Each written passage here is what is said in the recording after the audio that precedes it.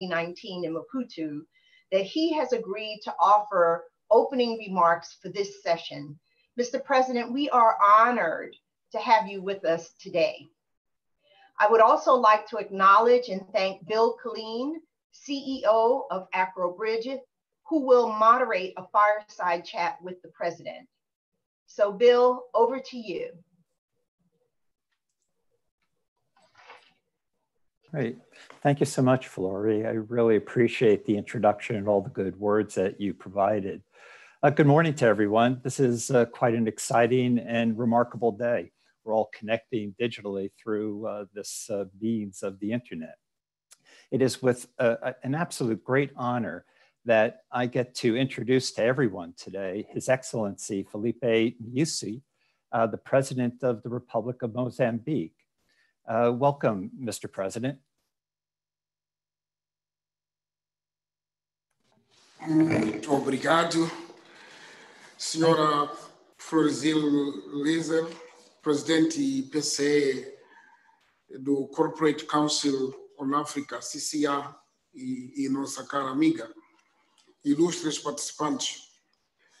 Recebam todos calorosas saudações de Moçambique e felicitações a Lizer e a sua equipa por nos reunirem numa altura em que as condições não permitem encontros presenciais devido à pandemia da Covid-19.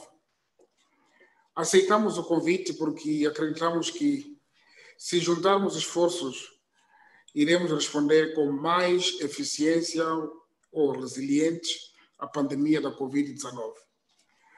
Esta pandemia ensinou-nos a saber o quão dependemos uns dos outros para estarmos seguros e juntos procuramos uma cura através de investigação, teste e validação do tratamento. Ao testemunharmos a pandemia a desonerar-se noutras partes do mundo, nós, em África, tivemos uma janela de oportunidade para agir rapidamente para prevenir a sua propagação. Em conformidade com os conselhos da Organização Mundial de Saúde, a União Africana e o Centro de Controlo e Prevenção de Doenças e outros parceiros de cooperação iniciamos prontamente campanhas de educação e sensibilização política para pública. Em Moçambique, logo que os primeiros casos ocorreram, decidimos criar uma comissão ministerial especial e um comitê técnico científico para aconselhar o governo e assumir a liderança nos, nos nossos esforços de resposta. À medida que os casos aumentavam, declaramos o estado de emergência e instituímos o distanciamento social. Tornamos obrigatório o uso de máscaras e as medidas de higiene em muitos casos. Os números atuais de casos, apesar de estarem a aumentar, ainda são relativamente baixos.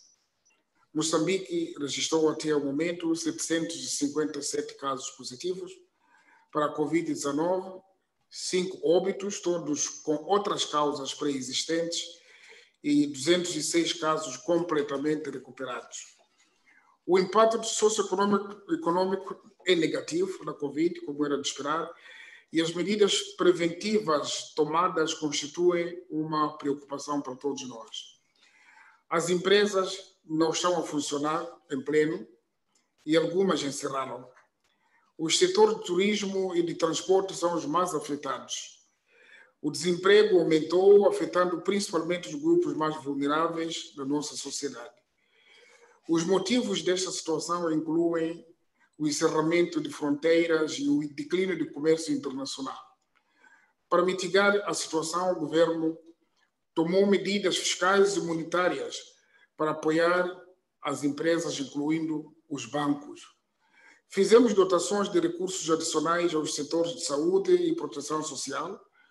As empresas locais e inter internacionais, incluindo as americanas, responderam bem adaptando as suas condições de trabalho e doando equipamento de proteção individual aos trabalhadores de saúde. O FMI, o Banco Mundial e o Banco Africano de Desenvolvimento têm todos respondido aos nossos apelos à assistência, continuam a ser parceiros fundamentais do nosso esforço de desenvolvimento. Agradecemos ao governo dos Estados Unidos por apoiar a resposta destas instituições financeiras multilaterais. Estimamos que precisamos de cerca de 700 milhões de dólares americanos para mitigar o impacto da Covid-19.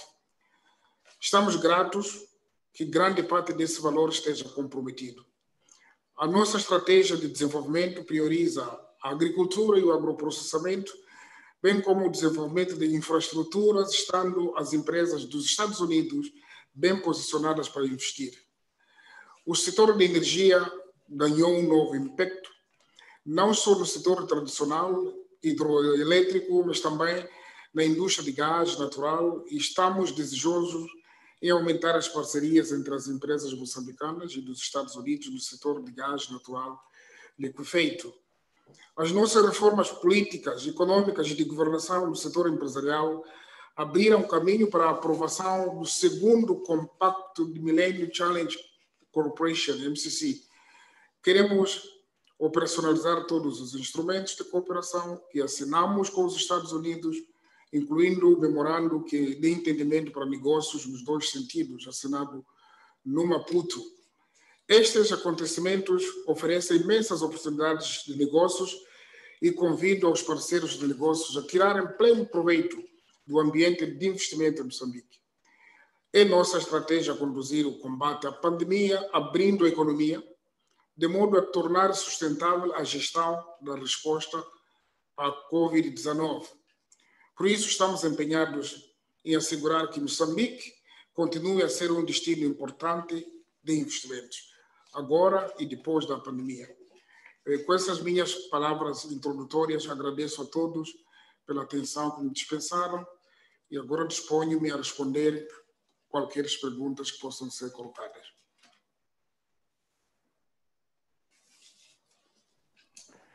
Well, thank you, Mr. President, so much uh, for those words. Uh, they are greatly appreciated. Uh, I could start with the first question. Uh, what lessons have you learned uh, so far about the country's response to uh, the COVID-19 virus? Can you repeat, please? Sure. What lessons have you learned so far okay, okay. about your country's response to COVID-19? Bom, o, nós aprendemos muito até desta pandemia que não estivemos todos nós preparados. Eh, primeiro, estamos a resolver um binômio, binômio de saúde e da economia. Porque se nós avançarmos só no sentido de saúde, podemos, o nosso sistema pode colapsar, porque não teremos capacidade suficiente mais tarde para sustentar a gestão da própria pandemia. Eh, à medida, a arma principal que nós encontramos e que influenciamos os nossos concidadãos é a prevenção. A prevenção, estamos a disseminar mensagens claras em línguas locais, através de imagens, em todos os momentos, para podermos dizer à nossa população, aos moçambicanos, o que tem que fazer em cada momento. É verdade que este processo exige uma liderança forte e pronta, uma ação coordenada a nível do nosso governo, mas posso dizer aqui que se todo mundo estiver unido nesta pandemia, ações coordenadas, até, por exemplo, nós aqui na região da SADEC, os países com que limitamos, poderá ajudar melhor, porque é uma doença que praticamente, como se diz, não anda é carregada por pessoas e é entregue a outra ou recebe de uma outra pessoa. A adoção das medidas necessárias deve ser acompanhada, neste caso, de mecanismos apropriados para garantir esse, esse cumprimento, é, porque o impacto não é só no setor de saúde, o cuidado que estamos a ter, a outra lição, é, segundo a sua pergunta, é que temos que ter o Sistema Nacional de Saúde a funcionar e capaz, capaz de atender. E os cuidados que estamos a ter é, sempre que existem pandemias, é preciso garantir que não cheguemos à fase de colapsar o sistema, o Sistema Nacional de Saúde. Eh, nós temos tido aqui a malária, temos tido aqui a tuberculose, são doenças que nos dão o alinhamento de como nós temos que conviver com esta doença. Nós temos aqui que garantir a segurança adequada aos grupos mais vulneráveis, que esses aqui que precisam de apoio imediato, porque a imunidade não foi há, há muito tempo consolidada no seu organismo, por isso mesmo que temos tido essa acuidade. A nossa parceria com o setor privado, nacional e internacional, ajudou bastante a recolher informações e não só algumas contribuições para a comunidade empresarial que são dados para, como, por exemplo, produtos para a higienização e outras medidas. E, e na minha intervenção inicial, eu indiquei que pretendíamos continuar o processo de reformas de governação em todos os níveis. E, e, neste caso, as nossas ações são orientadas pelo programa quinquenal do nosso governo. Não perdemos o foco, mas neste caso temos que saber, em paralelo, guiar esta doença, gerir esta doença, mas sem perder o foco de produção em Moçambique.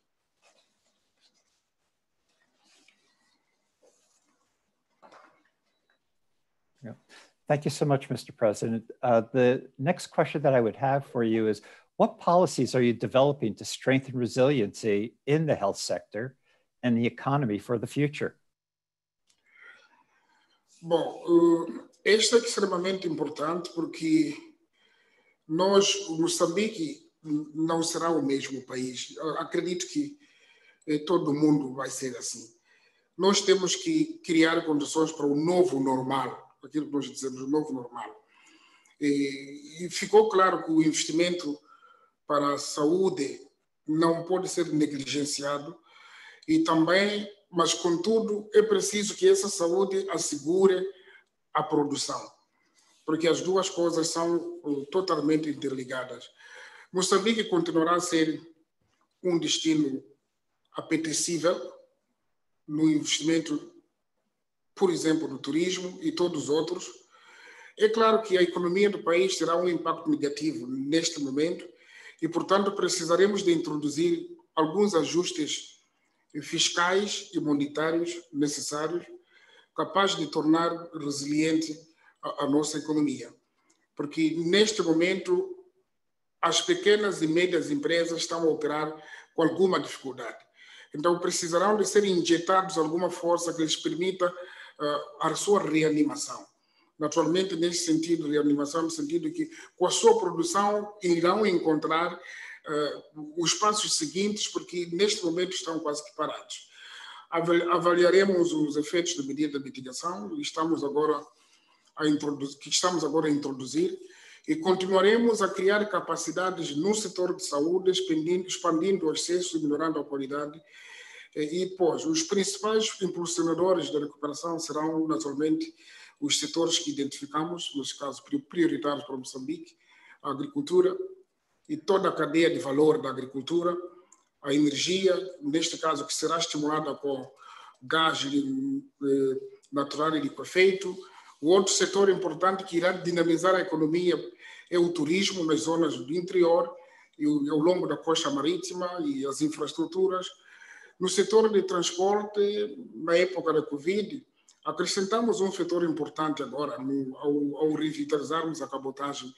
O nosso país é longo, tem por volta de 2.700 quilômetros da, da, costa, o que significa que eh, a assistência com a cabotagem que introduzimos agora, que passa pelos portos ao longo do país, esse irá também facilitar e alavancar o escoamento de mercadorias, principalmente de produtos agrícolas, não só para alimentar os portos principais que devem exportar para, para fora. A reabertura da economia a que me referi oferecerá à comunidade empresarial muitas oportunidades para investir e fazer trocas comerciais. Continuaremos também a procurar formas de ajudar as pequenas e médias empresas, como me referi. Continuaremos a incentivar parcerias entre empresas moçambicanas e estrangeiras, e neste caso onde se encontra, claro, imediatamente o papel das empresas das empresas americanas que continuam, e de igual modo continuaremos com as parcerias bilaterais e multilaterais com vista ao fortalecimento e expansão da nossa cooperação para o desenvolvimento. Eh, os Estados Unidos, neste caso, são os parceiros estratégicos, por isso que esse encontro para nós é de extrema importância. Thank you, thank you. Uh, the next question would be, what will be different in Mozambique post-COVID-19? Because I know here in the United States, just operationally for businesses, it's going to be dramatically different. What are you seeing? Bom, uh, o setor privado em Moçambique, a África e mesmo os Estados Unidos continuarão a desenvolver um papel fundamental eh, no período pós-Covid.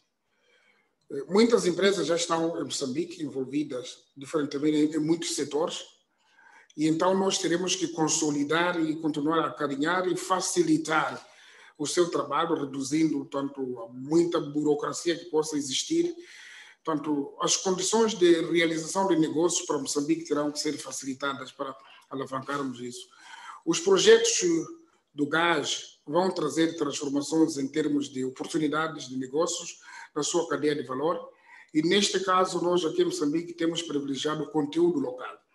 Todas as empresas estrangeiras que operam em Moçambique são apeladas para trabalhar com o conteúdo local para alavancar a capacidade interna, sobretudo eh, criar eh, a capacidade na, no setor privado eh, nacional. Mesmo agora que estamos a enfrentar a Covid-19, eh, os contatos não pararam, continuam, e continuamos a receber até pedidos de informações de empresas africanas e também dos Estados Unidos que estão a discutir projetos em curso e outros projetos em perspectiva. Portanto, isso oferece-nos a segurança de que as coisas irão continuar.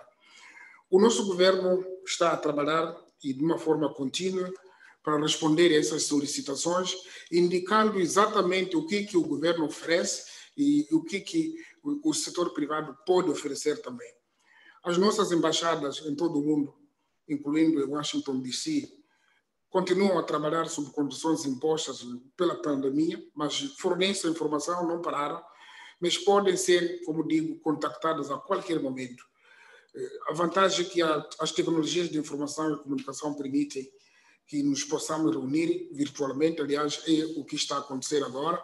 Nós esperamos que, entretanto, que o setor privado seja mais proativo em conjunto e possamos refletir sobre qual seria a melhor forma de trabalhar nesta nova fase.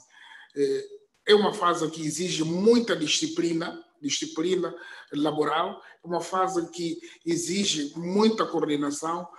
Em todo caso, como disse, Moçambique está a trabalhar para o novo normal, porque já não será aquilo que nós conhecemos no passado. O novo normal será mais exigente e nós também teremos que acompanhar e conviver com esta realidade. Obrigado. Well, thank you again. Uh, the, the next question for you is, what will be the main drivers of the recovery and what are the implications for business in Mozambique?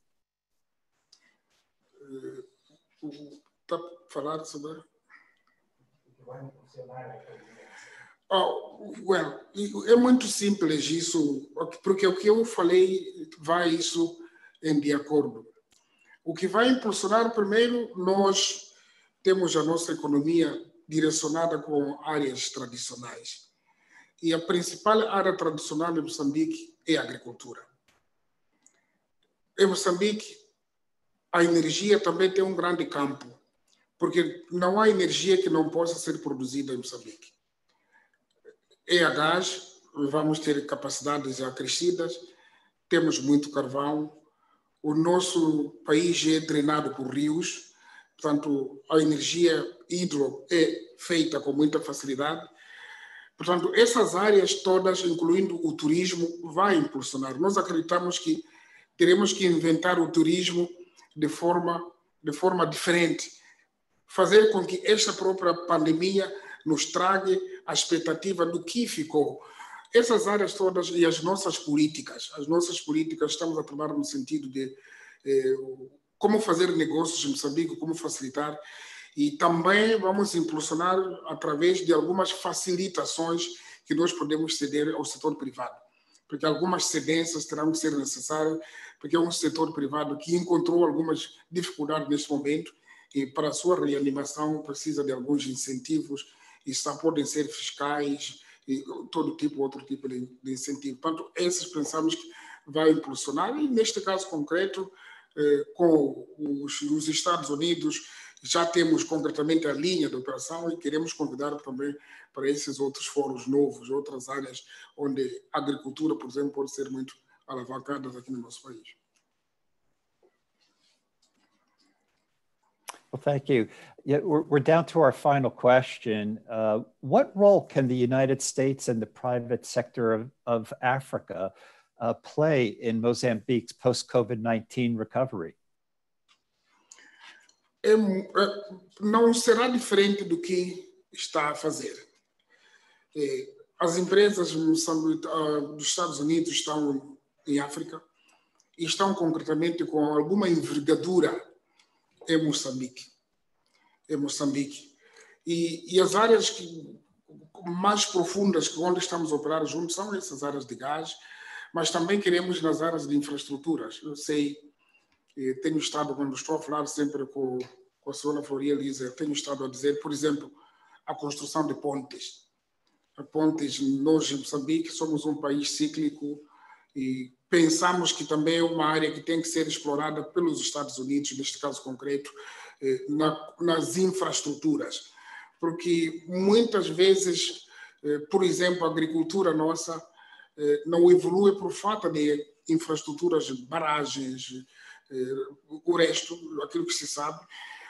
Isso por quê? Porque Moçambique é um país seco no sul, muitas vezes, é, mas é muito úmido, chove mais no norte, mas nós não somos capazes de gerir essas águas quando chovem para poder sustentar a agricultura em todos os momentos.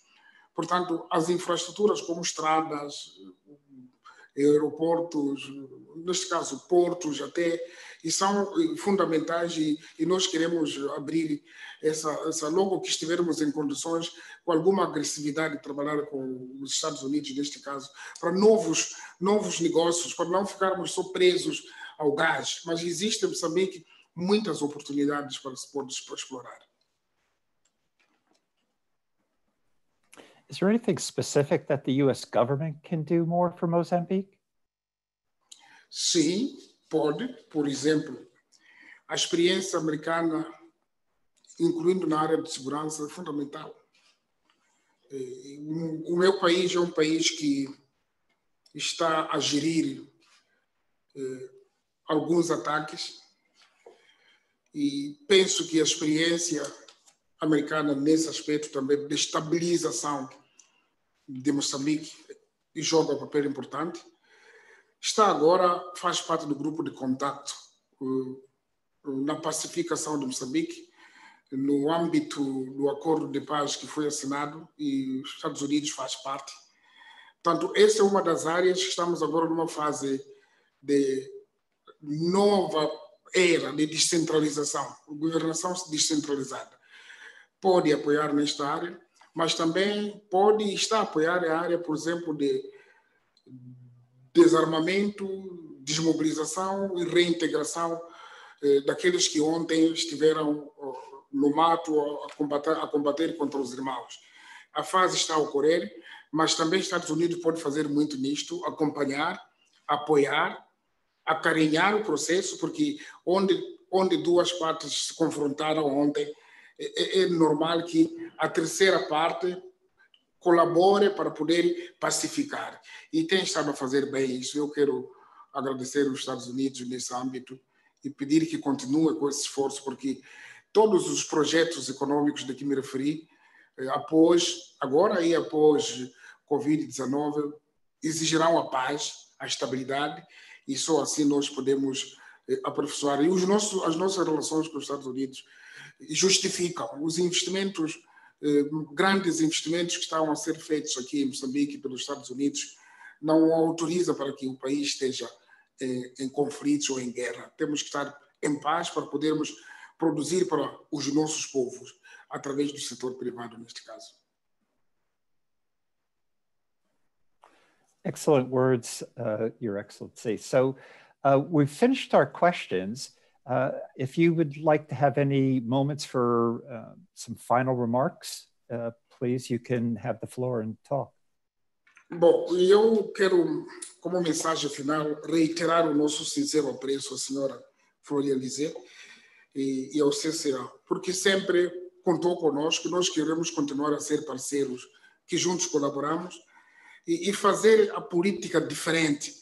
Nós, eh, juntamente com o governo, nós estamos a facilitar e apoiar o setor privado.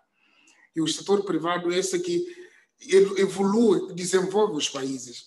E por isso mesmo digo, quero saudar essa oportunidade que, que, que nos deram mais uma vez para partilharmos a nossa visão. Nós continuaremos disponíveis para reforçar as nossas parcerias com os Estados Unidos e gostaria de agradecer a si, como moderador, fantástico moderador que nós hoje tivemos. Espero que a próxima vez que tivermos a sessão em Marrocos ou outro lado qualquer, seja de novo convidado. E espero vê-lo também em Moçambique, Moçambique eh, no tempo livre ou mesmo em trabalhos.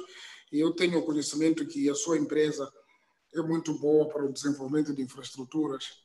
E é por isso mesmo que se olhou, fiz uma grande referência às infraestruturas, porque aqui há espaço para desenvolver a sua atividade econômica. E muito obrigado mais uma vez pela atenção que nos deram. E a minha querida amiga, continue com força. É assim que a mulher mostra que pode dirigir o setor, influenciar a economia no mundo. Obrigado. That's fabulous. Oh, thank you so much, Mr. President. We are just so honored that you would take time from your very busy schedule uh, to join us, and you've been so generous with your time today. We appreciate uh, you and uh, we welcome your very insightful remarks. And I just have to say that CCA is um, so pleased that we are a partner with Mozambique in focusing on greater US uh, Mozambican uh, trade and investment. Uh, and thank you again for hosting us last year during the US Africa Business Summit, where we talked about the broader US Africa uh, relationship. Uh, we appreciated so much your hospitality then. So thanks again for joining us today for our Leaders Forum. And we look forward to staying in touch and continuing to be a strong partner of uh, Mozambique. Uh, uh, Bill, uh, thank you so much for moderating this session. Um, we appreciate that Acrow Bridge uh, is a, a, member of CCA on our board, and also the great work that you're doing doing all across uh, the continent in in building needed infrastructure. And um, uh, am looking forward to hearing more about what you'll be doing in Mozambique as well as uh, in other countries on the continent. So, uh, Bill, Your Excellency, President Nyusi, uh, thank you again for being a part of CCA's Leaders Forum. Thank you so much, Flory. Thank you. You are welcome again to Mozambique. Thank you, Mr. President. So we will now transition to our high-level panel discussion. Uh, we had a great discussion and on day one yesterday, and we have such incredible people who have agreed to be a part of our panel discussion today. I am just so looking forward to it.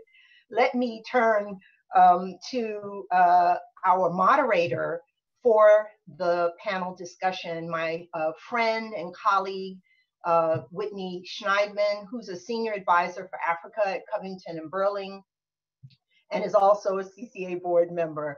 Uh, but before I turn it over to Whitney, um, I just want to go over some housekeeping rules for the question and answer period uh, that, that will come uh, during the panel.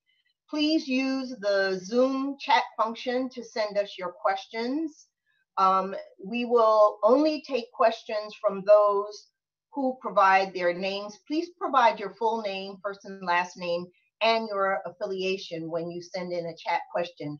And uh, the panel is so great. I'm hoping we'll get a chance to have additional questions from you, but please do send them and we'll do our best to uh, try and get those to the panelists to respond to. So Whitney, uh, over to you. Lori, thank you so much uh, for having me uh, to moderate this uh, panel. Congratulations uh, on this um, uh, Leaders Forum. I mean, I think you've really used this time of challenge in a very creative and innovative way. So thank you to you and the whole CCA staff for um, not skipping a beat. Yes, we wish we were in Morocco, but the bottom line is that we're still together here and we're still focused on, on, on very important issues. It's, it's, it's my pleasure to be able to uh, moderate this very distinguished panel. Um, we have uh, with us uh, today uh, Farid Fez, Fezoua, who's president and CEO of uh, GE Africa. We have the uh, Honorable Betty Maina, who is Cabinet Secretary, Ministry of Industrialization, Trade and Enterprise uh, Development of Kenya. We have Gregory Rockson, who is the co-founder and CEO of mPharma.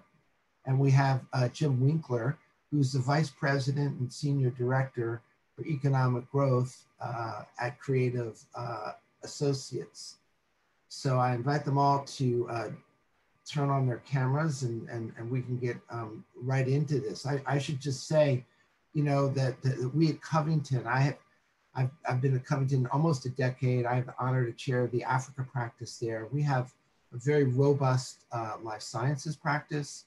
We have about 100 attorneys who are involved in Africa across our 13 offices, including our office in um, Johannesburg. So we've been able to work with a number of companies um, uh, over the years, but this is a particular time. So Fareed, let me start with you.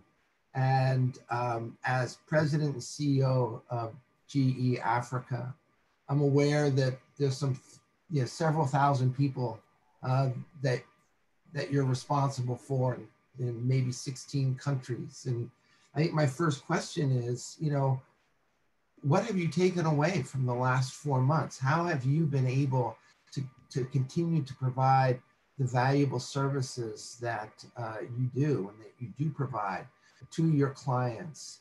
And, and, and, and, and what lessons have you learned so far?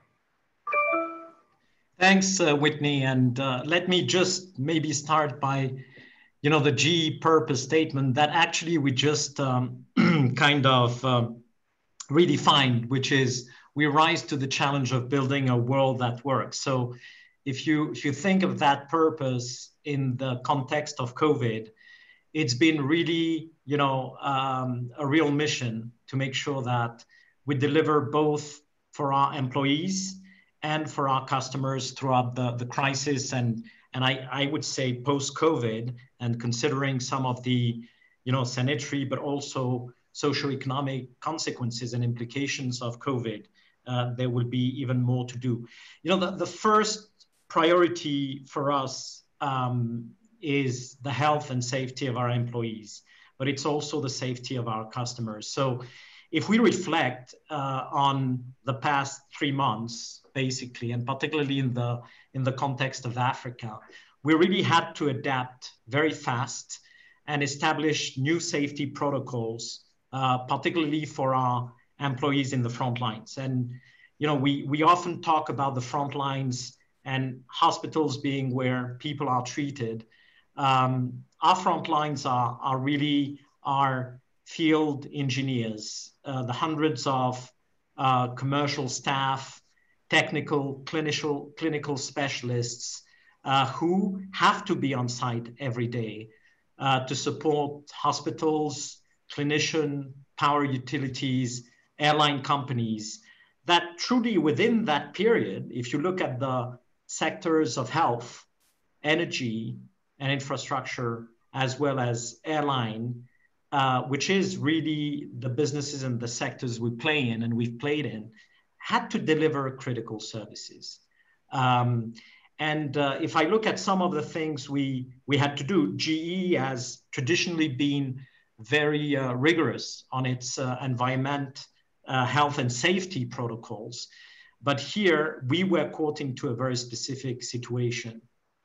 And, uh, you know, from providing personal protection equipment to our employees, and in many cases also you know, to our customers and customers' uh, employees, uh, going through a deep risk awareness training and communication to our workforce.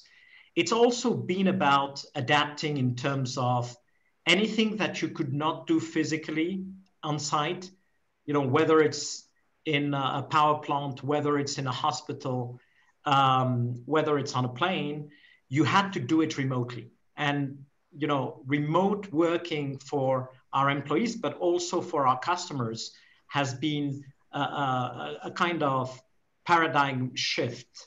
Uh, we had adopted digital and remote working for a while, but I think COVID put us in real situations and leveraging digital tools in this regard has been key. Um, it's also about leadership, and I, I, I, want to insist on that. We've seen a lot of our um, uh, political leaders across the continent taking, and President Nyusi was, was here, taking the lead and driving very tough decisions, uh, implementing tough measures and actions. Well, we had to do the same within GE, you know, establishing very strong processes within our crisis management plan to track, anticipate. It's, a, it's about taking proactive actions across our businesses in Africa on, on key matters, such as how do you deal with quarantine, uh, repatriation, evacuation, site management, and uh, working closely with the authorities and, uh, and embassies throughout the continent. So I would stop there. We could continue maybe on, on what we do for our customers, Whitney, but I'll, I'll give it back to you. Let me do one quick follow up. You made reference to the paradigm shift and, and remote working, which I think all of us have had to do. The fundamental issue is, you know, the internet and, and how has that been working for your your colleagues and your employees and your clients um, over Africa? Has it yeah. been sufficient?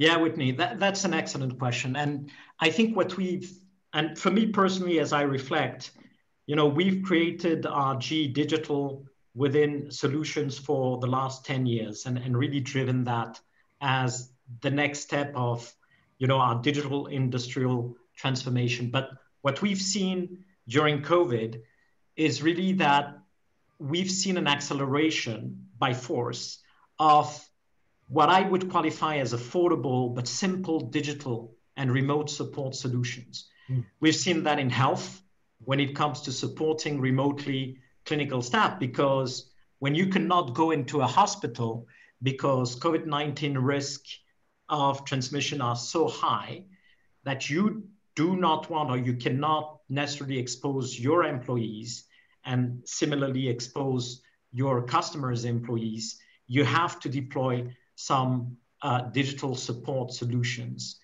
It's the same, and I would say even more critical when it comes to service and maintenance. At the end of the day, we are a technology company, and you know we know what a ventilator in a critical in an ICU suite is. We know what an ECG and a monitoring system is. But if it fails, you know you have to deploy people or you have to leverage digital tools to fix it immediately. You have to be proactive so that those systems that are supporting critically the life of patients in a hospital do not fail at any time. And, and that's the kind of solution. I will take a few examples. If you look at, you know, GE Healthcare, uh, we, we recently launched um, a, a, system, a software, which is called Thoracic Care Suite. It's basically a collection of eight artificial intelligence algorithms that are embedded into our X-ray, a digital X-ray that you know can be used on any digital X-ray. It's really leveraging a software and artificial intelligence to be able to accelerate and automatically analyze images and the presence of abnormalities in, in the thorax and in, in the patient chest. So if you think about COVID, it was absolutely critical to detect very early on patients that will show abnormalities. But it's not only fast, it's about volume.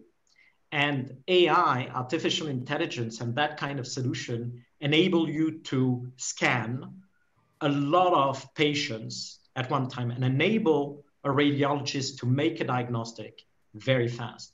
But I reflect on Africa with those solutions, and that's all in the realm of digital and artificial intelligence. You know, we all know Africa has, you know, 25% of the disease burden of the world. So COVID-19 is just adding to this. Uh, but it only has 3% of the global healthcare professionals. Right. If you think about TB, um, that you know, I think the World Health Organization estimates that there is about 1.8 billion people throughout the world that are infected by TB. And it's a major burden in Africa. So applying these kind of solutions, not only to COVID, which is pneumonia uh, uh, related, but also TB, that is uh, an aggravating factor in these situations, is, is something you can reflect on. I, I would also take a, another example of what we've done in power. You know, a power plant is critical. You know, if electricity doesn't flow, and I think uh, His Excellency Nyusi touched on this, in times of lockdown, if your power plant does not deliver electricity, first your hospitals coming back to your hospital would not work, which right. is a, a big problem in itself. And we've been able, you know, if I, I reflect in Cote d'Ivoire, we have a big partner called CIPREL that has, you know, uh, independent power uh, stations. And we were able to deploy digital monitoring solutions to ensure as the power plant you know, needed more capacity and more monitoring to make sure that at no time this power plant fails. And that's some examples of, you know, the paradigm shift in terms of the use and leverage of digital um, to, uh, to really supplement capacity. Also being able to flex capacity, because what you've seen in COVID, and that was very critical in, in healthcare, is that you had a surge of patients with limited infrastructure and means and capacity to deal with. And digital should be able to expand and flex this capacity Thanks. in the years to Thanks. come. It, it, it, sounds like it's wonderful to hear that you've been able to sort of adapt, as you say, in, in the digital space. Let me turn to um, to you, Cabinet uh, Cabinet Sec Secretary Maina, uh, and just um, sort of blend two critical issues. You know, the first is the very important US Kenya trade agreement that both governments are, are embarking on. This is the most significant legislations or proposed legislation since the passage of, of the African Growth and Opportunity Act in, in, in 2000.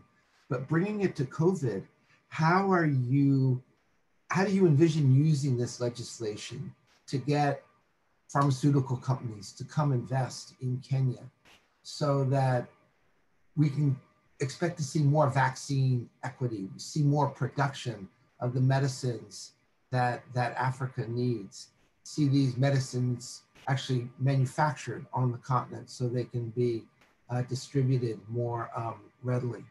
So would love to hear your thoughts um, uh, about that. Over to you. Thank you. You're, you're on mute. Um, Thank you very much, Whitney, and uh, thank you very much, Flory, for the, first of all, putting this together and for the invitation to join uh, this uh, panel. Uh, President Nyusi touched on uh, one of those realities that has come to us with COVID, which is uh, the need for greater self-sufficiency when it comes to medical disease. I think the whole world was hit by COVID at the same time, and we saw a disruption of supply of um, uh, very uh, required medical commodities. So it's important that as we come out of COVID, we start to think about local supplies. Excuse me. Excuse me.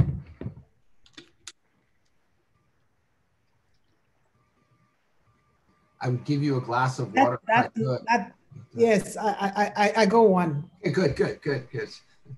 Every time anybody coughs these days, uh, anybody around you, you know takes a beeline for the door because they always think he must be ill.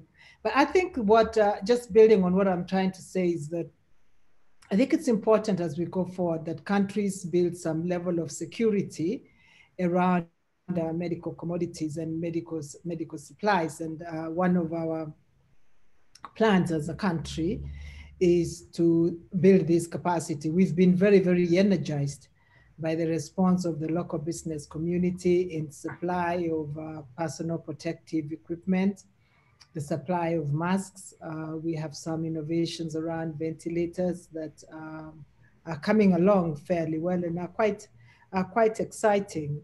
So I think going forward, we would obviously, and it's one of our um, planks of the COVID recovery strategy is to build greater capacity with, in regard to pharmaceuticals and medical, uh, medical supplies.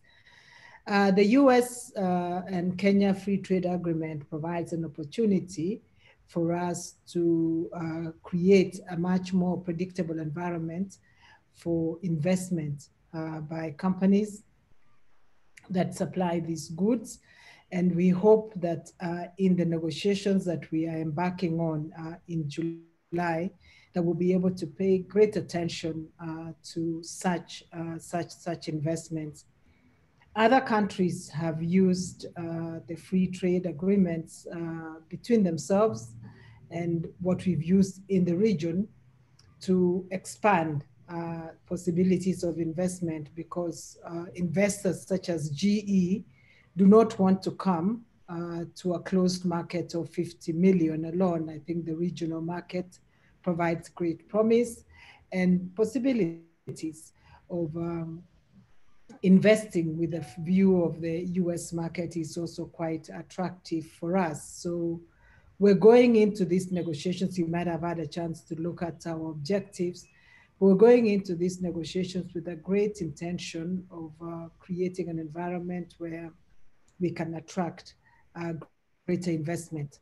One of the nascent areas is uh, uh vaccine, uh, vaccine production. We are in conversations with some companies right now. Right now, they're not, um, I don't think there's some American companies, I think they're German uh, companies partnering uh, with our local companies. And we're actually going into conversations about possibilities of production uh, of um, at least or even just uh, the final assembly of vaccines uh, in Kenya, which is doubly necessary in our case. Our middle income status as a country means that in a few years' time will not be eligible for some of the Gavi support uh, that has made uh, vaccines available. So I think for us, there is actually an urgent urgency uh, in this matter, and therefore we are looking forward to uh, partnerships with American companies and partnerships with other companies in order to deepen our footprint in uh, production of medical supplies and we want to promise them uh, the larger East African and African markets because of the Africa Continental uh, Free Trade Area. Thank you. Right, so just let me follow up for a second, uh, Cabinet Secretary. So then you would envision that with this free trade agreement, it would be a springboard to U.S. investment, not just in Kenya, but in, in East Africa as, as well. And you see other countries benefiting from this. Yes, um, I, I, I, don't think anybody would set up in Kenya just for Kenya alone. I think they set up in Kenya because of the regional market. But the free trade agreement provides a predictable framework for that uh, investment. I think, as you have mentioned before, um, the, the biggest deal for Africa is the Africa Growth and Opportunity Act, uh, which is set to expire in 20, uh, 2025. Uh, the US government, when uh, Flori was there, uh, signaled quite loudly that it would not be uh, extended. There may yet be some change of mind, but we haven't gotten that indication. So I think it is in the interest of US companies as well as uh, the Kenyan government and others to use this free agreement as a, as, as a signal of stability in the, in the trading environment. And I think the promise that Kenya provides is its regional networks, the Africa Continental Free Trade Area, which we are part of, the East African community, can provide certainty for the African market for these US companies, but it also provides an opportunity to uh, build up supply chains outside the US uh, in a country such as Kenya. Great, great. Okay, thank you for that. Um, let me shift over now to um, Gregory uh, uh, Rockson in uh, Ghana. And, and Gregory, let me ask you, you, you are the co-founder and CEO of mPharma, um, a life sciences company that is sort of the embodiment of what we're talking here. You profiled last week in the uh, Financial Times uh, in an article entitled Private Sector Drives Africa's Fight uh, Against the Virus. And uh, I understand that your company mPharma established Ghana's first private COVID 19 testing lab. So, so the first question I'd, I'd like to ask, um, I, I, think Fareed made um, reference to uh, the fact that you know Africa has only reported about two percent of global infections, yet your company is on the front line of providing testing. What are you seeing in terms of the, the ability of, of African governments to test? Is the data that, that uh, the WHO and the region Afro, is, is Afro's data accurate or are we, or is there just so much going on that we don't see? Um, what's your sense of, of what the data is telling you?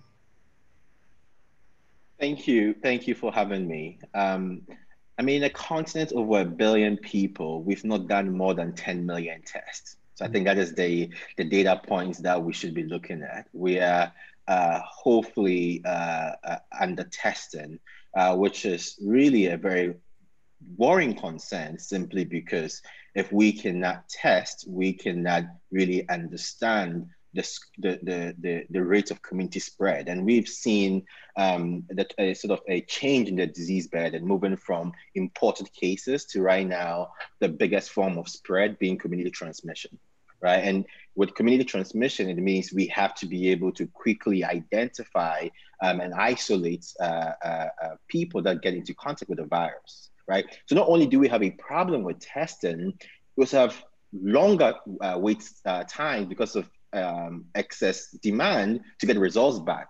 Now, there's no use of a test results when you do a test and you get the results back in seven days.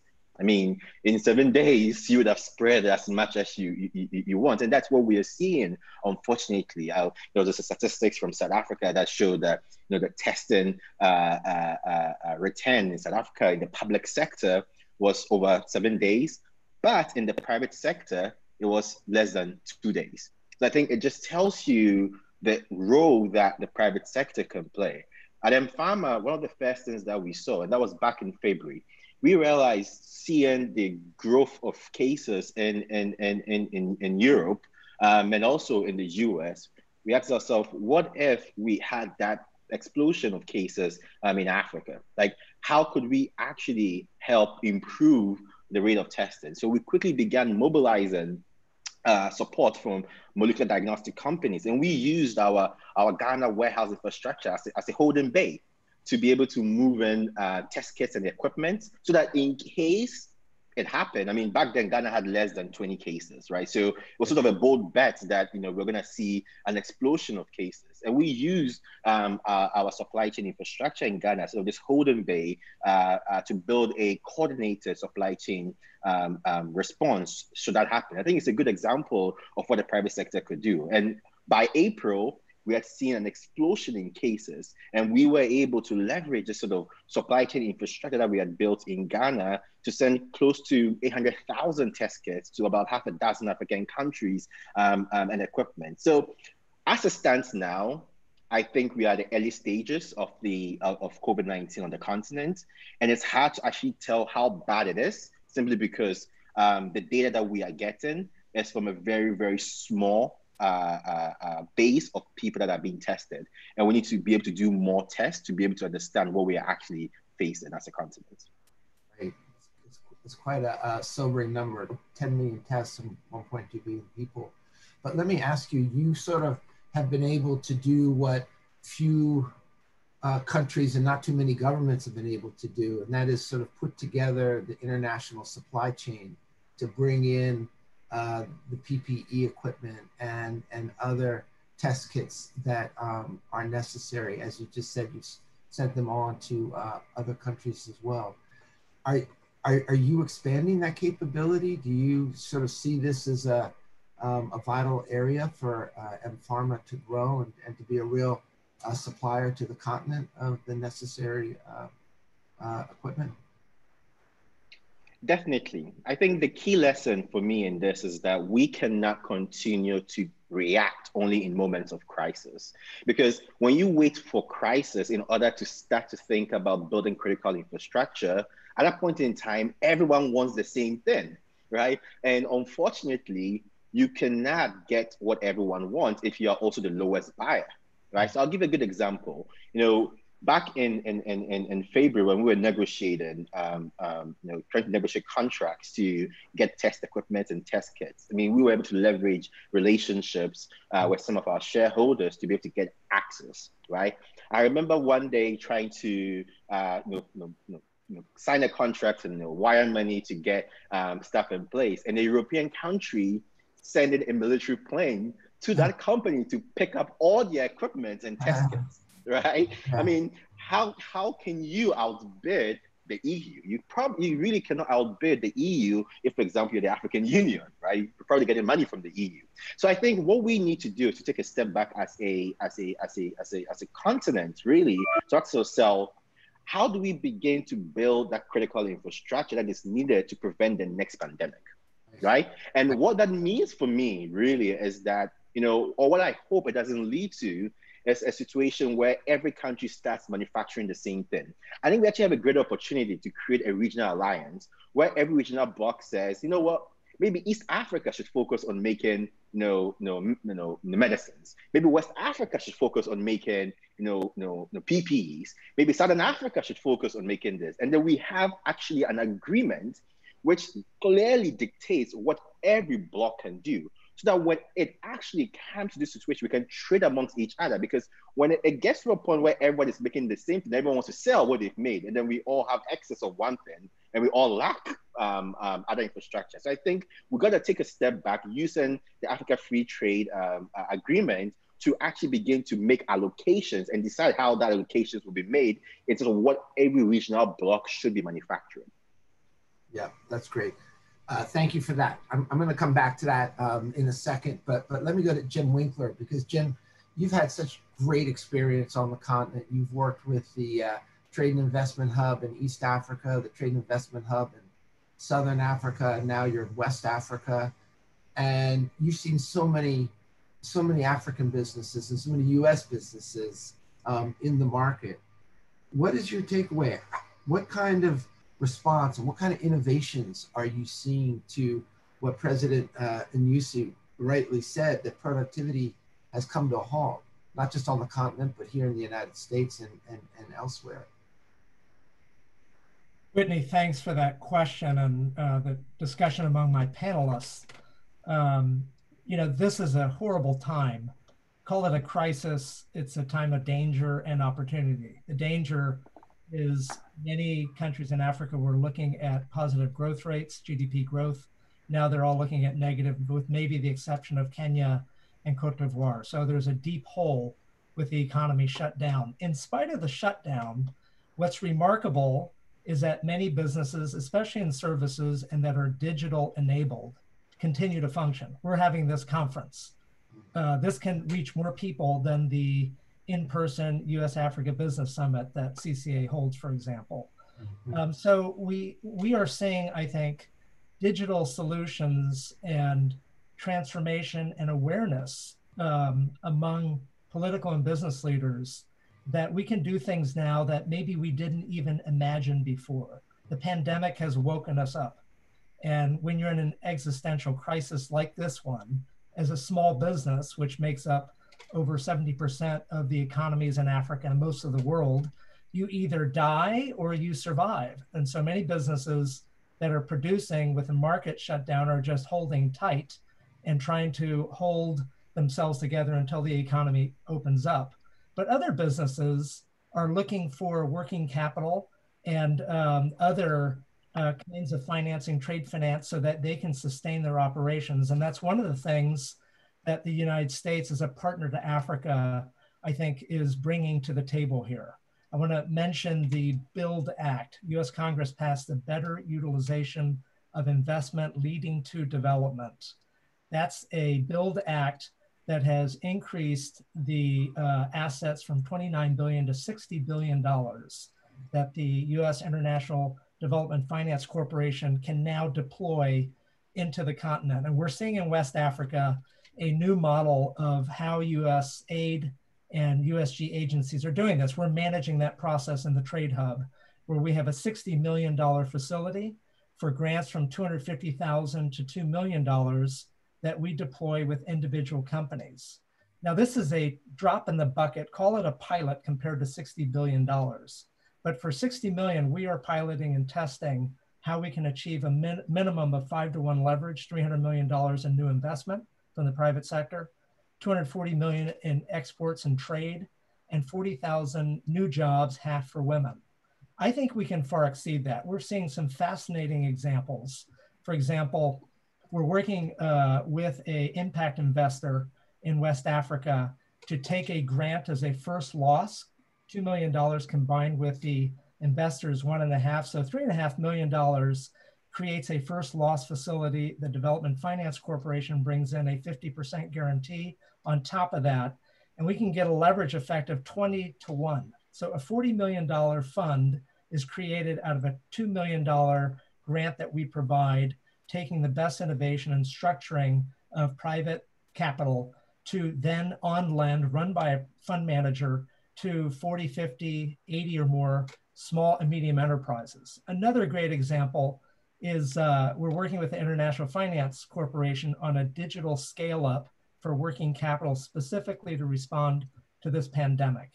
And, and IFC is invested in three or four companies that have a digital platform that reach 10,000 to 40,000 companies in the formal and informal sector. So take one company that uh, uses a digital platform to reach micro transport companies. Many of them are informal. They're not registered, but they're absolutely essential to reach small villages and remote areas. And so this company will work with us to set up a special purpose vehicle where we'll do a similar um, fund mechanism that allows them to channel working capital into transactions across 10,000 micro fleet uh, companies that are providing transport and movement of goods, whether it's PPE or food or water or whatever is required in the marketplace. And so that's an example of a digital solution that the private sector is activating and mobilizing to respond to companies that usually don't even get seen in the informal sector, but make up half or 100% of the equivalent of GDP in most economies. Another example I'll mention is we're working with a US Nigerian joint venture that has come to us. They want to make a $13 million investment in Delta State, which has 30% of its water, uh, of the surface is water in that state. This joint venture believes that aquaculture, an integrated business model that produces feed and inputs for farmers, small farmers, can uh, produce tons of um, fish, catfish, at affordable prices, and that this model uh, can be replicated in Delta State, Cross River State, and across West Africa. So the comments have been made that too much food is being imported into Africa, and Africa is dependent on imported food. That needs to change. I was in Kaduna, Nigeria uh, last January, and we went to a point and kill restaurant where you get to pick your catfish they kill it, they grill it, and you eat it. And I'm sitting there with our Nigerian friends eating, you know, catfish grilled with beer on a beautiful night. And I asked, well, where did this catfish come from? They said imported, frozen from China. Now, that's because the production systems are not up and running on the cotton, continent. So across agriculture, transport, you know, light manufacturing, a wide range of logistics and other services for both trade across the region, across the continent, and to the United States. Investment and financing, which I think is a strategic industry that the US can bring to uh, Africa, is absolutely critical to transform these economies that haven't been able to reimagine what their industry should look like. And what the pandemic is doing, we heard this yesterday in the discussion. Before this pandemic, I would have guessed that it would take 10 to 20 years, honestly, for the uh, Continental Free Trade Agreement to take off. What you're hearing now from leaders, from the Honorable Secretary and the presidents that have spoken yesterday and today, they now realize how critical intra-regional trade is. In Europe and the US, intra-regional trade in those economies is 50% of total you know, economic activity. In Africa, it's less than 10%. So the kinds of investments that we are doing in partnership with private firms that bring innovation and know-how that we as a private consulting firm and USAID and USG could never alone come up with is really inspiring in the middle of this pandemic. And we don't know when it's going to end. We know that we're able to continue working because all of our work is online and digital for applications from companies to develop their proposals and co-create the solutions with them that uh, are going to put people back to work and be able to rebound. This is very important. SMEs make up the backbone of the economy. We need to get working capital and trade finance available to them through the 40 plus financial institutions that we are talking to so that up and down the supply chains and across the economy, we'll be able to see these uh, companies be poised to rebound when things open up. So, so Jim, let me just ask you, you made reference to the U.S. Development Finance Corporation, which I think all of us agree is a very important innovation uh, from our U.S. Congress, supported by the uh, uh, Trump administration. Are you seeing any specific targeting of investments in the health sector from the DFC? Yes. In fact, the DFC just announced recently in the past few days a special um, program to target healthcare and health sector financing um, that will deploy both their debt and equity financing capabilities and their insurance and guarantees that leverage private sector investment tremendously. So when you we can take private capital that is risk averse because either there aren't bankable businesses and projects or the uh, the risk is too high.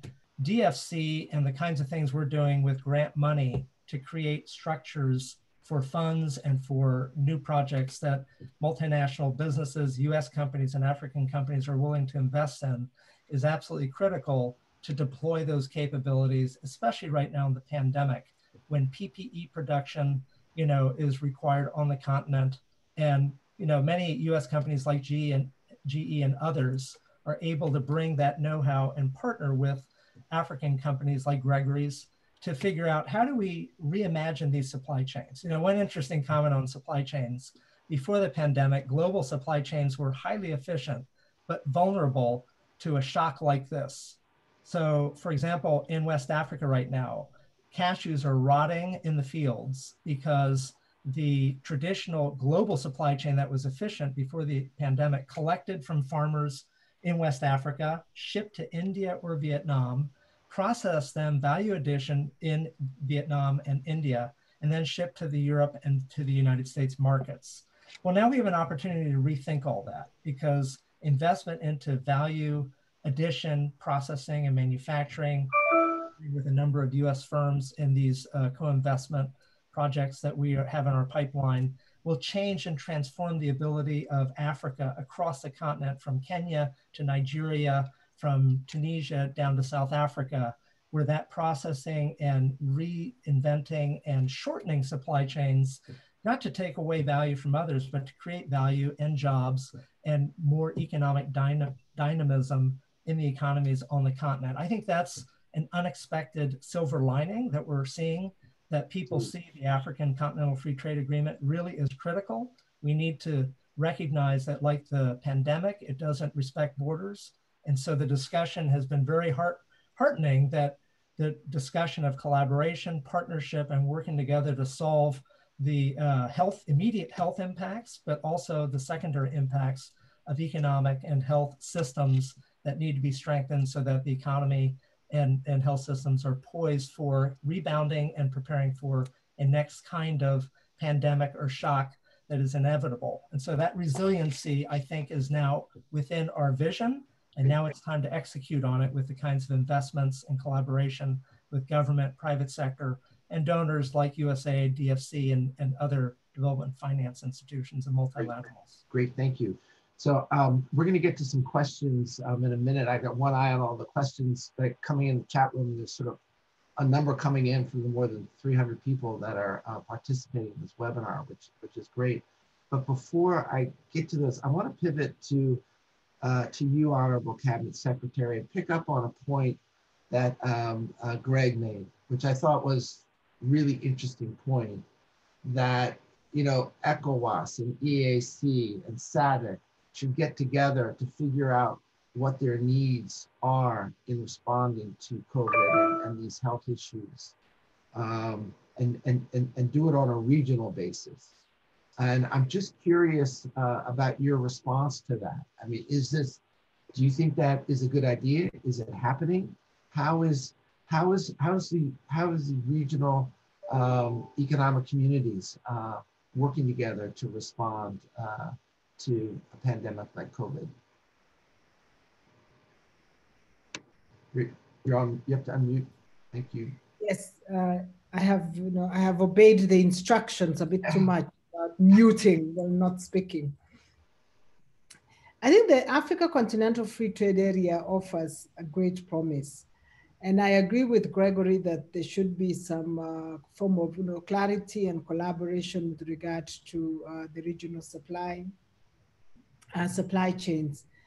I think that is need, needs to be driven a lot also by, by the private sector because uh, industrial, industrial policy is by and large uh, national. I mean, it's a national mandate. It's, uh, we believe in the principle of subsidiarity and therefore a lot of these decisions are made at national level. But I think if there was also leadership from the private sector to signal uh, the relative, uh, know, the partnerships that they would that they would that they would want to reach, then that can also temper uh, the desire because each country desires to be self-sufficient. Each country desires to build its industrial base.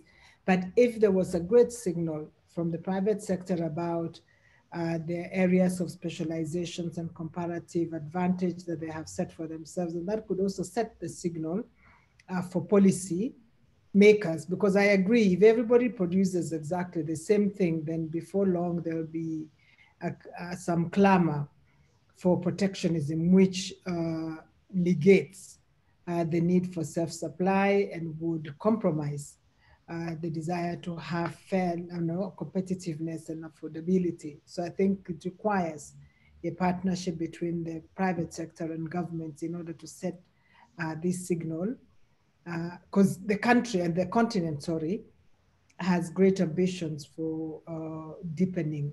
And I think there's even an Africa action plan on pharmaceutical on for the pharmaceutical sector. So this becomes an, an, an opportunity for this partnership and, uh, and, and, and, and great collaboration.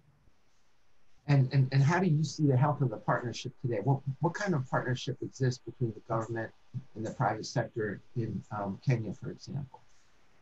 I was going to say it varies from country to country. Uh, Kenya has a very rich tradition of close collaboration between government and the private sector, and, uh, and, the, and the government is very sensitive to the input uh, of the private sector.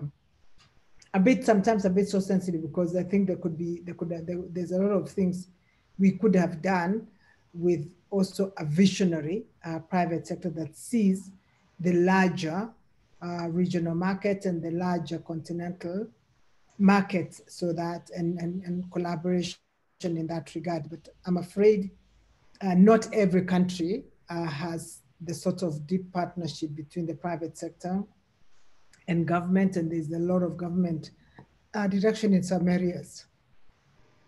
Right, right, right. Yeah. Um, Farid, let me uh, let me go to you. Uh, you know, we, we've mentioned several times uh, this conversation about the African Continental Free Trade Agreement. How does how does GE see this? How are you planning to take advantage of it? And um, uh, as number one, and some of the questions that have come in, you know, how does GE make its decisions on where to invest in a lab, you know, a testing lab in Uganda or, you know, some other countries when, when the needs are so great and let's face it, resources finite, how do you, you know, how do you land a decision? And particularly in the context of the uh, uh, emerging uh, regional free trade agreement. Yeah, no, that's that's a very important point. I, I, I think both the honorable CS and, and Gregory were spot on. It's um, well, first of all, I think reflecting from COVID, we, we definitely need to be much more proactive than we've been in Africa. We cannot just wait for a disruption like this one, a pandemic or any other burden to just, you know, outline the gaps we have. Um, you know, I was just reflecting, we talked about vaccines, we talked about labs and testing, but, you know, for a population of 1.2 billion people, there were only 18,000 ventilators. I mean, I'm just taking that because we've been, you know, before the crisis, nobody knew what a ventilator did really in a critical suite in a hospital. Today, everybody knows. So how could we have, as countries, as private sector, not been able to build the capabilities and the capacity that could respond to such type of upheavals. So I think this is a, a, big learning for us. And, and there are many ways we can respond to that. One is the big subject of supply chain. And if you look at a company like GE, and I agree with the Honorable CS, unless you create a critical mass across the countries of Africa, you want it's very difficult to ask a, a, private sector company technology company investors to really localize manufacturing in one place for a small market or relatively small market that still has a lot of constraints with regards to export even to the neighboring country to have tax agreement customs agreement Mm. And I think the African continent free trade agreement needs to bring that. Now, if I if I reflect on what G does from healthcare technology, you know, first I would go back to 10 years ago. We took the bet in South Africa to build the first African locomotive. You know, we we did, we created 60% integration in terms of production and integration in South Africa.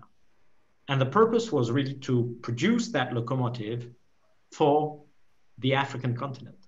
I think we could apply this to many other spaces. You know, um, if I think about airline, we have an industry today that is in a in a big, uh, uh, in a in a, I would say dire strait, but hopefully rebounding soon. But think about the open skies debate in Africa. You know, think about the champions we have, you know, whether it's the Ethiopian Airlines, the Kenya Airways of this world. Why don't we capitalize as that, as a continent, and really build the center of excellence, or to Greg's point, the champions that will do the few things that the, the continent needs. And I think if we do a good job to just you know, bounce back on what Jim said about, and and this is the CCA. So Prosper Africa is in our mind. We've got a, a very strong willingness from the US government today to really, whether it's through bilateral free trade agreements like the Kenya ones and the promises we're seeing, or whether it's through supporting with financing and adapted financing. I think you know, I've been in discussion with the DFC and MCC and USAID lately, and even the World Bank and the African Development Bank. And I can tell you there is a, a huge shift in the way those government agencies or multilateral are thinking. You know, it's about blended finance to make sure that we allow, you know, a grant element. Jim described some of that, both for the private sector, the public sector, or the public private partnership type of initiatives.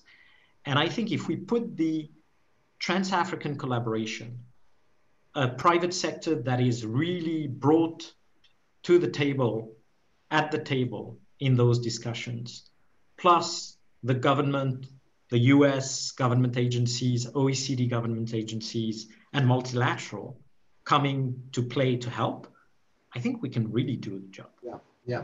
You know, it's interesting to me in, in Prosper Africa, one of the concepts you keep hearing over and over again are deal teams. We don't quite yep. know what those deal teams are yet, but the fact that the U.S. is now thinking of them, I think, right. is a reflection of that, of, of the mind shift that you were um, referring to. But um, Gregory, let me come over to you with, with one of Farid's points, you know, about the uh, African Continental Free Trade Agreement it looks like you've been able to get, you've been able to bring materials into, into Ghana and then sort of export them to other points um, in Africa pretty pretty effectively. So it doesn't look like they're maybe you've just been able to sort of um, navigate the barriers of trade uh, in, in, ways that uh, seem to present challenges for, for other companies. But that's also part of a question that has come in in, in, in, in the chat room about uh, business risk. And, and you know, what do you see for your company in this sector as, as the biggest risks? And how do you manage those? Uh, thanks for that question. Um, I mean, I would love to have said it was easy. it was not easy. Um, and, you know, I think that at the end of the day, one thing I think it's important in trying to create an enabling environment is for governments to just set the rules and not try to pick specific winners, because then that ends up creating um, some sort of corporate favoritism. That would not um, inspire um, um, foreign organizations to do more. I also think that it's important to think about how African companies can be incentivized to invest in other African companies. I'll give you a good example. Um, you know, in Kenya, for example, Honorable Betty uh, may know this, mPharma, we, we wanted to buy our first pharmacy chain. We actually didn't buy it in Ghana, we're a Ghanaian company. We actually bought it in Kenya, right? We bought our first pharmacy chain in Kenya. That was a big investment that we made into the Kenyan market by acquiring the second biggest pharmacy chain um, in Kenya, Haltons. Um, and unfortunately, I'm un unable to travel there right now because of the, the, the border closures.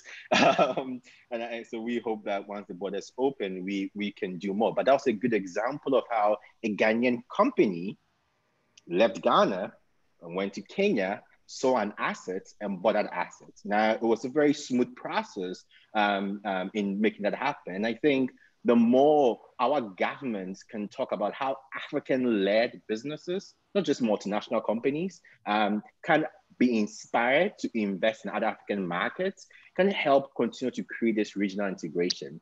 Um, and I believe that the greatest thing any government can do really right now is to not see the private sector as a threat.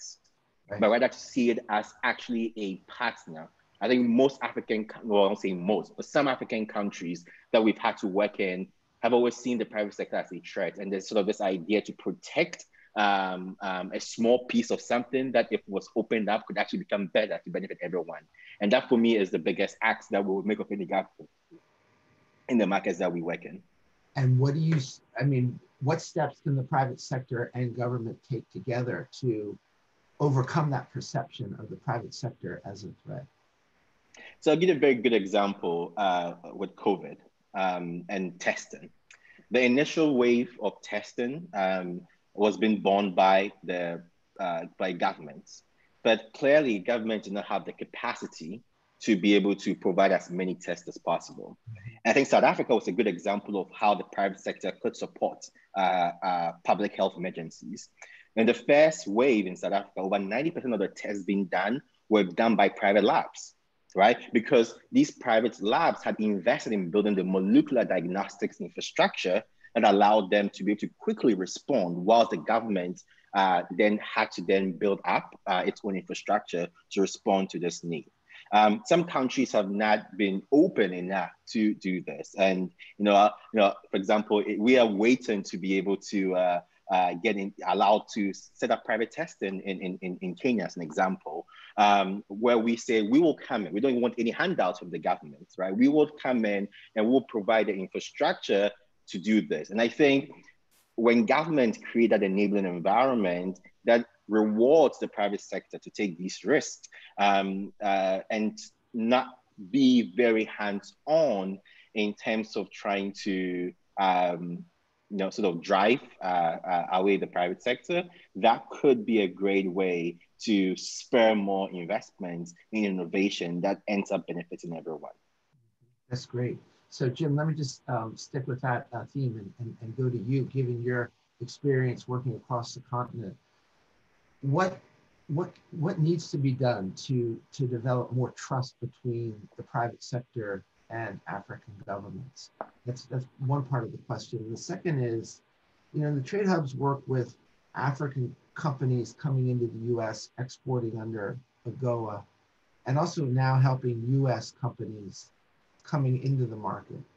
When it comes to managing risks, is there is there similarity between the risks that African governments and American governments face um, on the continent and dealing with governments? You know, I think um, some of the U.S. Uh, African government officials that we've had conversations with in CCA when we've asked them, uh, one of the biggest problems for U.S. business is corruption. You know, and I like the response of uh, the head of the African Union who said, "Speak it out loud. Don't be afraid to mm-hmm. talk about the C word." Um, and bring it out into the open because we have to deal with it because the transparency and level playing field so that uh, business can have more confidence that decisions are being made on procurement, government procurements, or the way policies are made or deals are made are not back office deals that benefit a few individuals and doesn't be benefit, you know, the country, the people, and a fair in a fair, competitive, transparent process. So, I take heart in in that leadership courage to say, you know, we've got to do better. Um, and I think that's been an issue from uh, the US side and the President's Advisory Council on Doing Business in Africa. They've raised that as a critical point. And I think African leaders um, understand that that is increasingly more critical to attract US investment and to build that stronger you know, partnership with the United States and uh, bring in the GEs and you know the Caterpillars and the John Deeres and the companies, big and small, that are accustomed and, and expect to operate in that kind of modality. Um, on, on AGOA, I really, you know, think that one of the problems has been that the lack of financing and investment has left African companies um, without the tools and the capabilities they need in their manufacturing, equipment, processes, quality standards, and relationships to be able to access the U.S. market. Trade finance, for example, you know, we've promoted um, uh, participation in trade shows at Magic for apparel, for example, in Las Vegas, or the New York, um, you know, food shows and and floriculture in Chicago and so forth. And that's great, but to really expand, you know, the ability of Africa to increase value addition and compete in the U.S. market, capital is not just money; it's the partnerships with a U.S. buyer or investor, joint investor that an African uh, business or entrepreneur can can uh, generate, as well as the know-how of how to design products and be responsive to one of the most competitive markets in the entire world, which is the U.S. market. And so the combination of capital, trade finance, working capital access, equipment, some of it is US equipment, sales of US technology and equipment into the continent to help African businesses build the apparel, you know, and other products, uh, food, processed foods, and so forth that can be exported under AGOA are all, I think, part of the equation that hasn't really happened in the past as much it should have. So the tip of the spear, I think, now is finance and, and investment and everything from infrastructure, healthcare, processing, you name it, that uh, each of the countries need. And be able to expand that marketplace within Africa also so that companies, US companies coming in can help African partners trade. Right now it's harder, it's hard to trade between Kenya and Uganda on some products because the standards have to be harmonized and you have as many obstacles sometimes to get that trade done as with the US or with uh, the EU. And that can be transformed in a positive way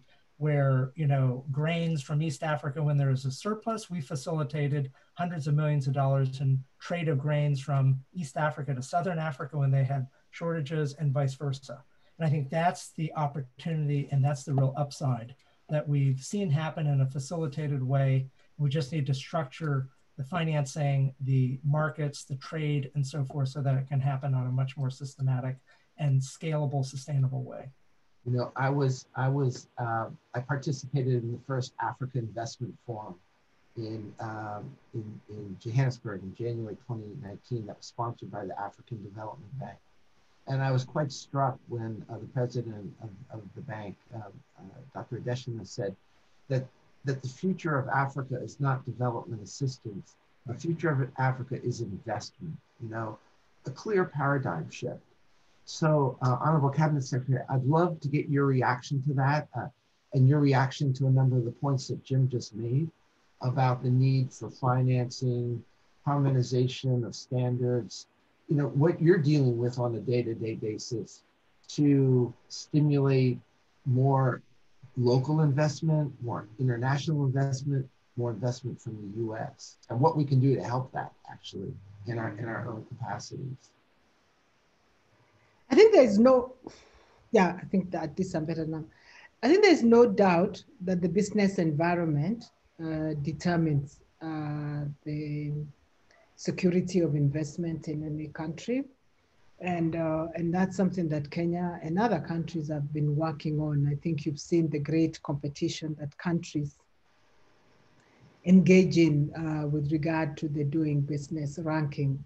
But we've also come to the conclusion that the parameters and the indicators that we measure in the doing business indicators is not, is not enough. We actually need to work at other issues around uh, business friction and challenges uh, that business are facing. So that becomes, you know, a top agenda, certainly for Kenya, and I know it is for other countries. I'm certain President Kagame would probably have said something similar uh, yesterday. But as we move towards uh, regional uh, integration, it is important that we also harmonize uh, the standards and that's something that we've been working on uh, within uh, within East Africa. But I'll be the first to admit that one of the greatest uh, barriers to greater regional trade is actually the implementation of these harmonized harmonized standards, because each country and sometimes uh, in uh, uh, submitting to pressure from domestic investors still have some rigid rules. So that becomes uh, a continued work in progress.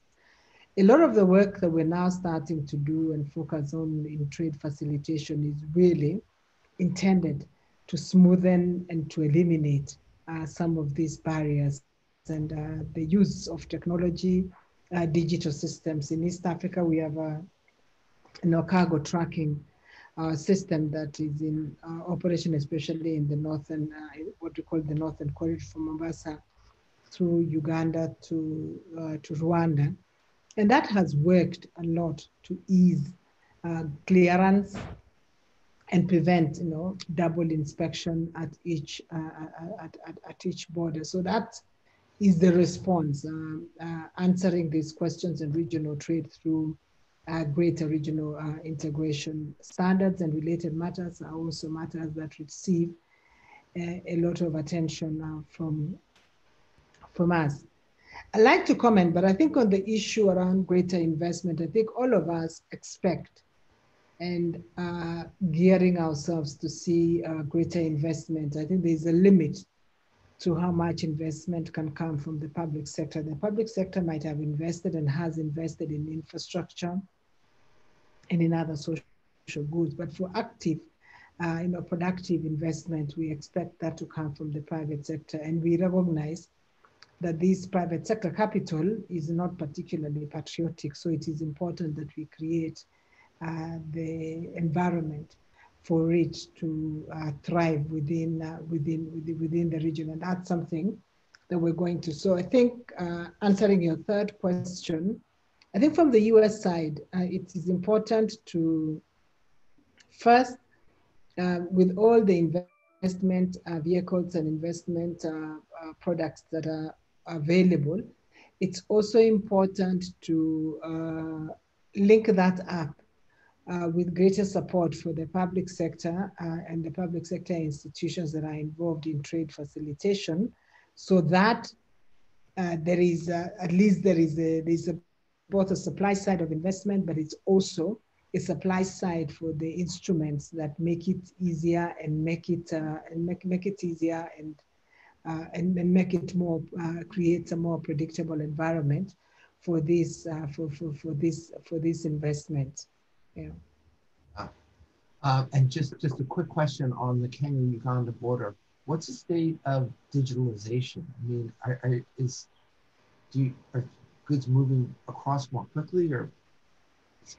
the delays? Actually, no, we had goods moving across, uh, and and that's the, the the you know the default position. The answer is that we actually have goods moving at ease. I mean, in terms of uh, with customs procedures, but we've had challenges, and that may be something that everybody has picked up uh, in the recent past uh, with regard to ensuring that there's also safe travel. Um, Kenya is an entry point for uh, Uganda and Rwanda and many other countries in the region. Uganda is a transit country, so uh, in recognition of the fact that a lot of COVID in the countries is uh, coming through uh, importation, the vector for importation of COVID in uh, Uganda might have come from cargo, cargo on, uh, cargo, no, cargo truck drivers.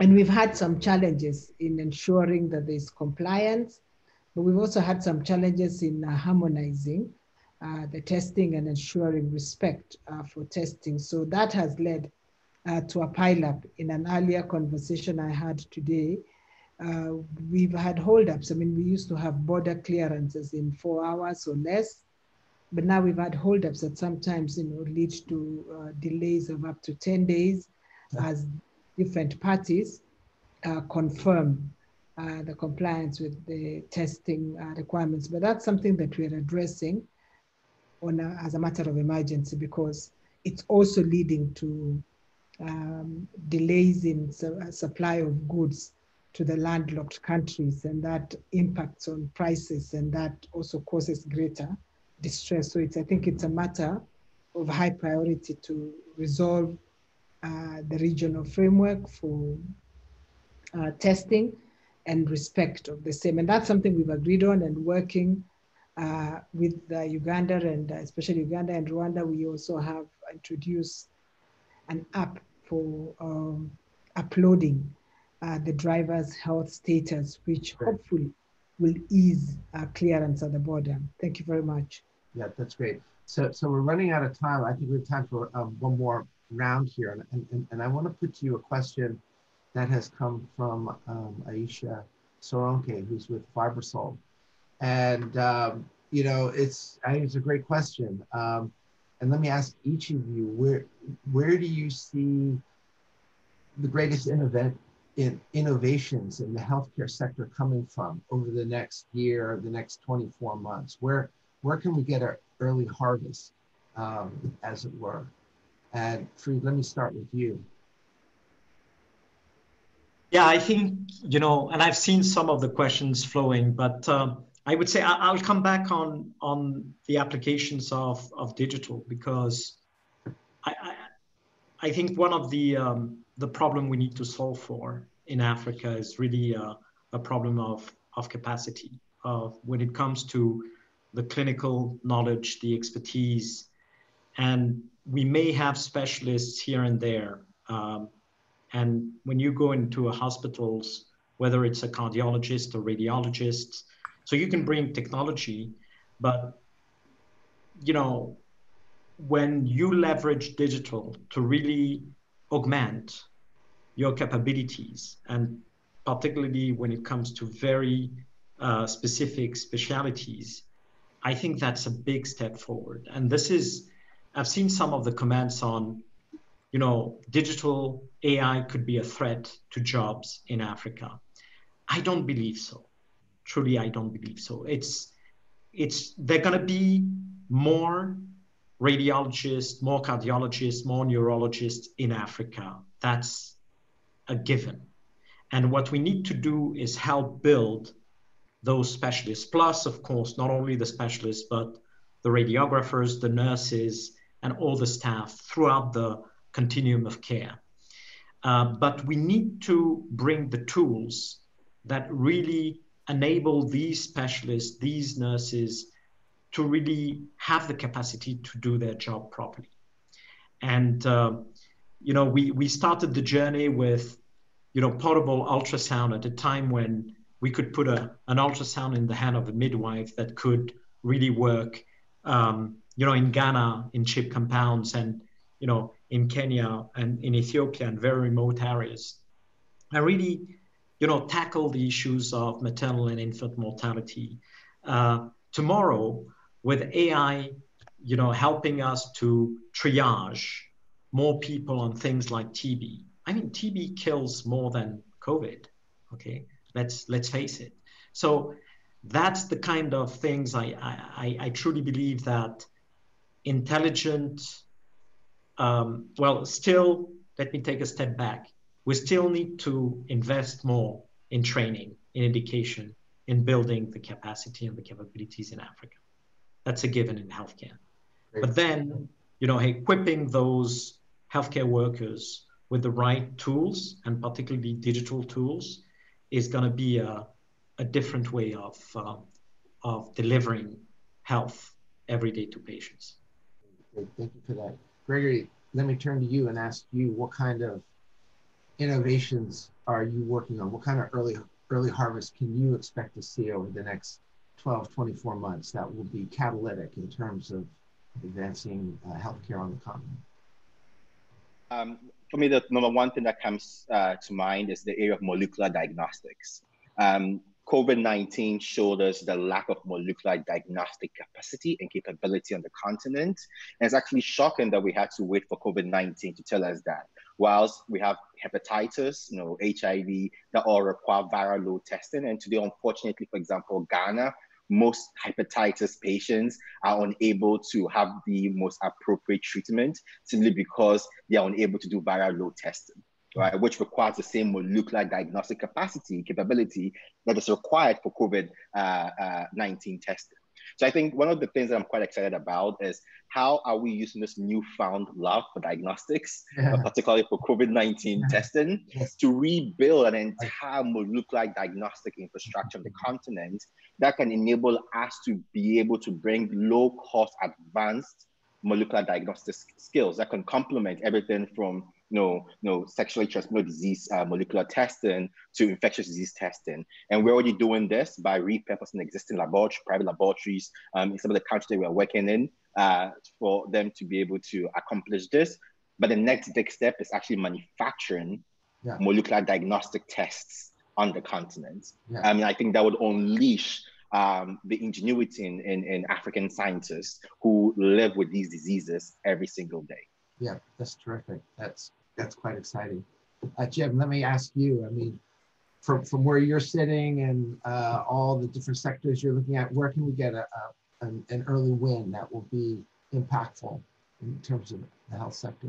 I'm I'm not a health expert, but two observations. Number one, uh, I'm I think uh, we should all be very worried about food and nutrition um, in the next 12 to 24 months. I think I've heard a lot of concerns among leaders about the agricultural sector being able to ramp up and produce enough food to feed people. And nutrition uh, and sanitation are critical issues. So, working through private sector actors, for example, all the grantees that we work with, we're going to work with them to be spreading to all of their workers and to their customers um, and this goes through to down to farmers and you know informal sector uh, companies, uh, firms, micros, and so forth.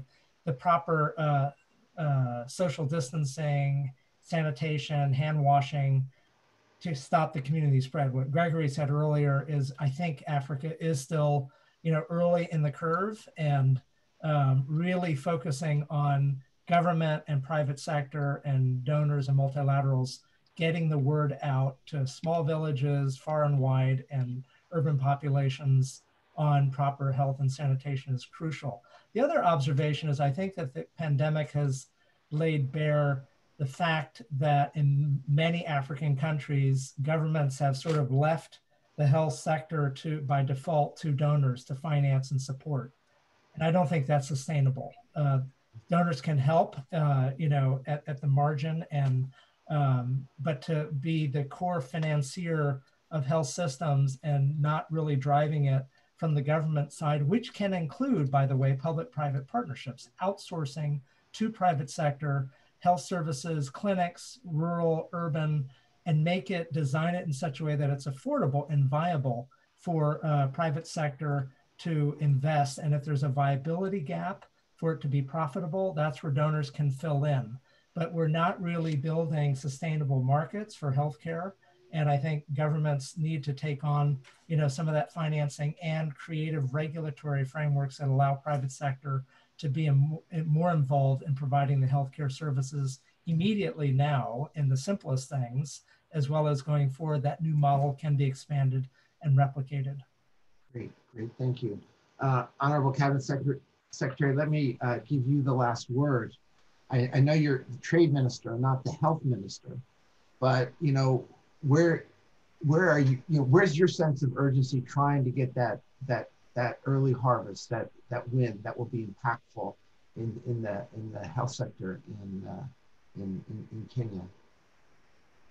Um, thanks. I think uh, I agree with Greg that uh, I think it's uh, uh, diagnostic capacity building in Africa is going to be one big thing because the reason we we have low numbers is because we have low tests and uh, but we also not having people dying in the streets uh, without any explanation. So I actually do think that we still have fairly uh, low incidence, but it would help to build up this confidence with a greater diagnostic capacity. And I think that's something we definitely are working on in Kenya. And I'm glad to have partnerships with mPharma uh, for that.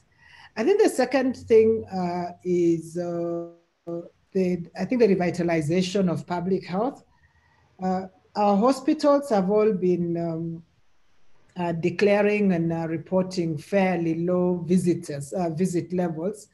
In the beginning, we thought it was because of fear of COVID and the stigma associated with it. But latest analysis coming out is a lot of you know, hospital visits were really coming out of um, you know, failure to observe basic uh, public health related issues and sanitation. So there'll be greater focus on disease prevention uh, using uh, public health means. And I think that it's not innovative, but I think it's nice to have that uh, revival in, uh, uh, in as opposed to just focus on curative, uh, curative care. But thirdly, I think we also see greater focus by governments on on the health and health and health services, and especially health workers. So we are seeing uh, that uh, resurgence. And finally, of course, uh, with this uh, greater requirement and, and, and, shift towards greater um, security, then more health commodities will be produced uh, in, in Africa by default. Thank you. Yeah, well, that's terrific. Well, this is point at which I'd ask everybody to give the panel a big round of applause. But um, in lieu of that, let me just thank you all so much for just being so uh, interesting and, and taking this time. And uh, I, I think it's been a really rich conversation. So I'm hopeful we can continue it in some form or another. But uh, for now, we'll pause and let me just say thank you. And over to you, Flory. Yes, thank you so much, Whitney. What a, a great uh, discussion. Um, I was trying to take some notes and I decided that just too many interesting things being said by our esteemed panelists for me to keep up. So I thought I would just sit back and relax and, and, and enjoy um, the dialogue. We look forward uh, to following up with um, all of you on some of the things you've discussed and to learn how CCA can continue this important discussion on key issues that you've raised in terms of health and economic innovations and some of the policy issues that have been um, uh, touched on as well. So uh, thank you to all of you uh, for being a part of CCA's uh, Leaders Forum. And uh, let me now turn to Angela Wasunna uh, from Pfizer, who is also on CCA's board, to make some closing remarks.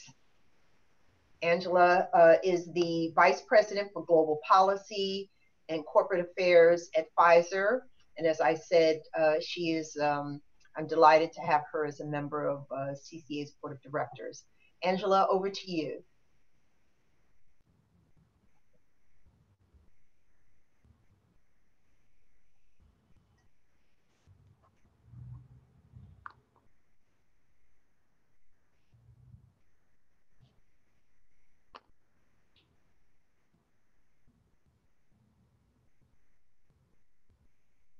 I hope you can all hear me. so thank you, Florrie, and a big thank you to His Excellency President Filipe Nyusi and the terrific panel. I thought the discussions were impactful and solutions oriented. And it's also very good to hear from my fellow Kenyan and friend, Honorable Betty Maina. So thank you all for the work that you're each doing to contribute to the COVID-19 response efforts in Africa, supporting healthcare workers, patients, and families in need. This life-altering and unprecedented crisis has in many ways brought out the best in companies and governments. And it really shines a light, as we've just heard, on the innovative minds leading the response efforts and offering solutions in Africa.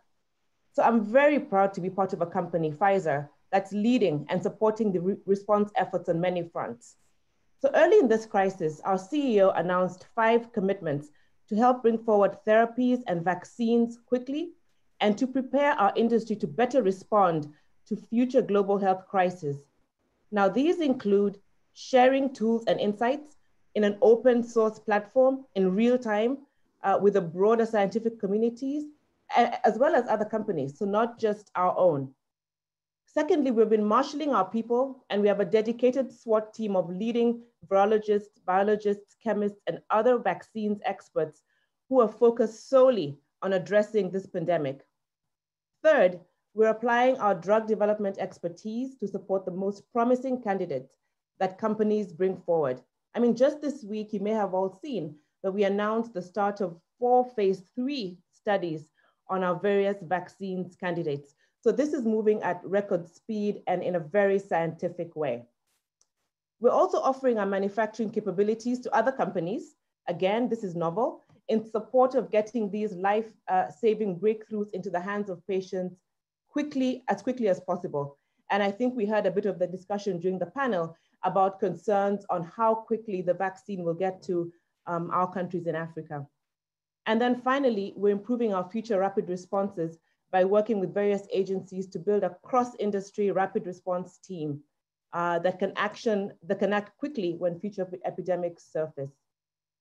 So at Pfizer, we also quickly uh, moved to support the immediate global health effects of COVID-19 through our foundation.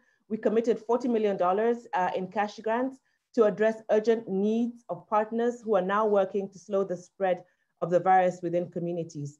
In Africa, we've been supporting organizations such as AMREF, uh, uh, South Africa's Solidarity Response Fund, and the Red Cross Red Crescent, among others. Our country teams, and I know uh, many of you who are local know this, are already working with their respective governments to further, local, to, to further support local needs as they arise. So from my perspective as the head of emerging markets policy in an innovative biopharma company, I'm convinced that science will win this fight and that we'll come out of this unprecedented global experience stronger than ever. Today's discussion, in my view, is an incredibly important one. And my hope is that it's the first of many conversations that translate into long-term sustainable solutions for health systems in Africa. And Pfizer is going to be a part of, of those solutions. So thank you, Florrie. Thank you to the entire CCA team for hosting this important forum and for bringing to the table like-minded stakeholders who are working to deliver results, positively impact patients, and ultimately pave a road to a new normal in a post-COVID world. So thank you, everybody. Thank you.